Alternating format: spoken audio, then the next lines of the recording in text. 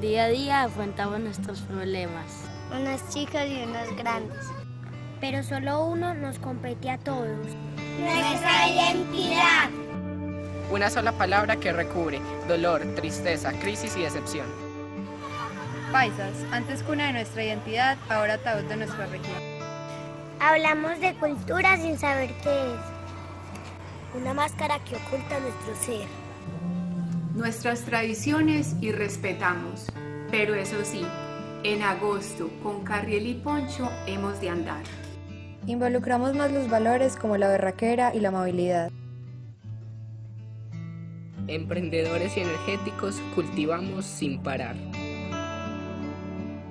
Excelentes flores y un cafetal excepcional.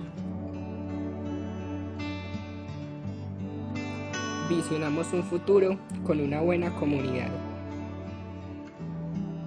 Sin tanta distinción de razas ni clase social. Pero si ni siquiera nos conocemos, ¿cómo esperamos vivir en paz?